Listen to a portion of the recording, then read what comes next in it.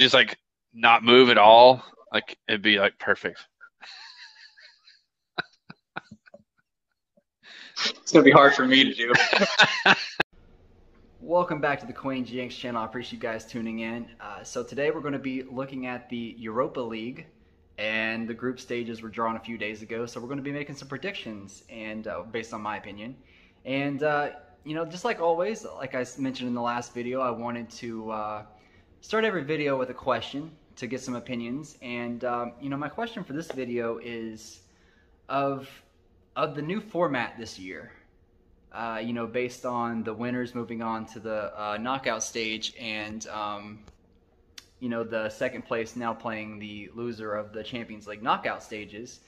What's your opinion on that? Did you like last year's format better, or do you like this year's format better? It's a little complicated, I know, but I'm just curious in your opinions on the new format. And uh, also to update everyone on the last video, which was on the Champions League uh, predictions, which if you haven't watched that, please go back and watch that.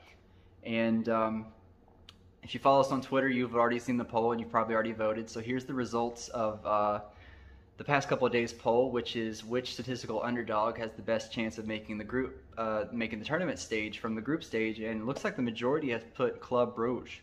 And I do not necessarily agree with that because they are in the same group as Man City and PSG, and I do not think there is a way in heck they come out of that group. But majority rules, and the majority rules uh, say Club Brugge is going to be the statistical underdog to make some noise. So, now we're going to get into the actual video, but a little bit of a more fair warning before we get into this. Uh, I am a English speaker, so some of these names is very hard for me to pronounce and I do think that predicting the Europa League is probably uh, very, very hard compared to the Champions League because when you look at the Champions League, you know, uh, you pretty much what you have a really good idea who's going to come out on top. Now, some of the group stages in the Europa League, you probably do have a good idea, but the beauty of the Europa League is, you know, you have uh, teams from just all over Europe, and you don't know how they're going to match up with other teams because, you know, you may have a team from um, uh, let's just say the Belgium, uh, the Belgian Premier League going up against a team from the Scottish Premier League. How are they going to How are they going to match up against each other? I don't really know, and I don't think that's the beauty. And I think that's the beauty of the Europa League. But that said, let's go ahead and get it right into Group A, which features Lyon, Rangers, Sparta Prague, and Brøndby. And I do think that Lyon is probably, if I had to guess, the statistical favorite to win this league or win this group. I have not looked at the uh, statistics yet on these or the favorites, but I would guess that they are. However, I actually have the Glasgow Rangers winning Group A, and I've got Sparta actually finishing second. And um, it may come as a surprise, and that may, and I know I'm probably going to be in the minority, but I just don't think Lyon has looked really good this year in Ligue 1. So that's why I've got Glasgow Rangers uh, finishing first and winning Group A. So Group B features Monaco, PSV, Real Sociedad, and Sturm. Now, this was, you know, I, I, I don't believe in Monaco. You know, they are so up and down almost all the time that it's one of those I'll believe it when I see it. I could be wrong. But I have PSV and Real Sociedad battling it out for the top spot to win the group, and I've got Real Sociedad winning with PSV very close behind in second. And I just don't know enough about Sturm, to be honest with you, to predict how they're going to do. So I've got them finishing third or fourth. So Group C, we've got Napoli, Leicester, uh, Spartak, Moskva, and Legia Warsaw. So right off the bat, this one's probably the easiest in my opinion for the top two. Napoli and Leicester clearly are probably the favorites, and maybe even two of the favorites to actually win the Europa, uh, the Europa League. But I've got Leicester winning the group and Napoli finishing second, and they may only be separated by one or two points, and those one or two points are going to come from Leicester probably winning, uh, beating Napoli in their head-to-head. -head so we're going to go into Group D, which features Olympic Olympiacos. Uh, again, I apologize if I'm saying that wrong. Frankfurt, Fert, Fenerbahce, and Antwerp. And although I cannot say the name of the team correctly, I have Olympiacos actually running away with this league. They have looked unstoppable and I believe they are going to completely dominate Group D and win. And I do think Frankfurt will get the uh, second place to go to the uh, the knockout playoff stage. So Group E, at Group E, we've got Lazio, Lokomotiv Moscow, Marseille, and Galatasaray. And to be honest with you, although I'm probably not saying their name right, I actually do hope they make some noise, Galatasaray, because they have an American um, playing for them by the name of DeAndre Yedlin, and I'm really hoping he gets uh, some stage. But in my predictions, I can't be too biased, so I've got um, Marseille winning this particular group. They've looked really, really good in Ligue 1 this year. And um, I've got Lazio finishing second. Um, frankly, I don't know a lot about Locomotive, although I do like uh, I do like their team, but I just haven't seen them play enough this year to to, to, to take a reasonable guess to think they're going to finish above any of the other teams. But I've got them finishing fourth.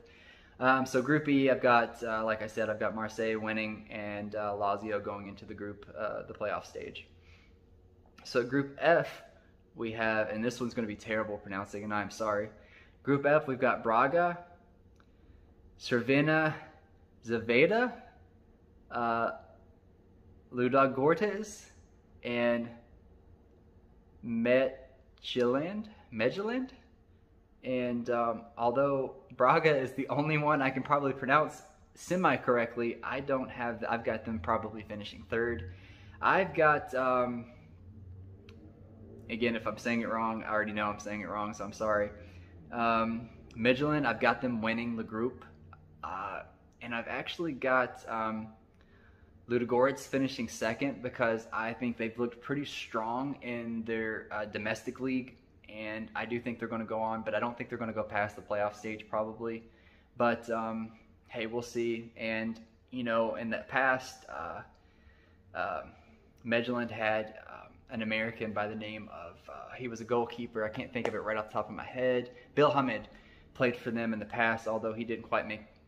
Although I, I would consider him probably a bust in this particular team, but either way, Still get brownie points for me, but that didn't influence my decision in any way. So we're going to go on to Group D, which is Leverkusen, Celtic, Betis, and um. So out of the top three teams, I think we're going to have Celtic winning the, the particular group. Although, if you told me a month ago, I may have not even had Celtic uh, finishing second but they've made some really good transfers. They brought in some nice experience, especially at the goalkeeper position with Joe Hart. Uh, I think he's motivated. He's looked really good so far in uh, league play, and I do think that's going to carry them to actually winning Group G. And I've got Leverkusen finishing second. So Group H, we have Dinamo Zagreb, Genk, West Ham, and Rapid Wien. And I have, frankly, I've got West Ham winning this and Gink finishing second. And I do think it's going to be close. Uh, Genk has looked really good this year, and they also have an American playing for them. Uh, West Ham, right now, they're a good team, I believe. Uh, I know they would have loved to have had some players back from last year, but hey, that's the that's the beauty of the transfer window. But I do have them nonetheless winning Group H. So that said, there's my quick 10 minute rundown um, from the predictions from the Queens Yanks. Uh, let me know what you think. Don't make don't be too hard on me for the uh, pronunciation of some of these teams. I know they're terrible, and I apologize for that. But uh, nonetheless, um, we got some more good content coming out. Like, subscribe, and please comment. Let me know if you even if you want to make fun of me and how I said some of these names. Go right ahead. And uh, like I said, follow us on Twitter if you get the chance. Where we post polls pretty much every video and we like to have some conversations going. You know, we've got uh, conversations going on with some ESPN personalities recently too. So please give us a follow on there. We need some more followers, trust me. And uh, that said, I hope everybody has a great week because this video should probably be posted on Monday. So everybody have a great, amazing week. Stay safe out there, and peace out, guys.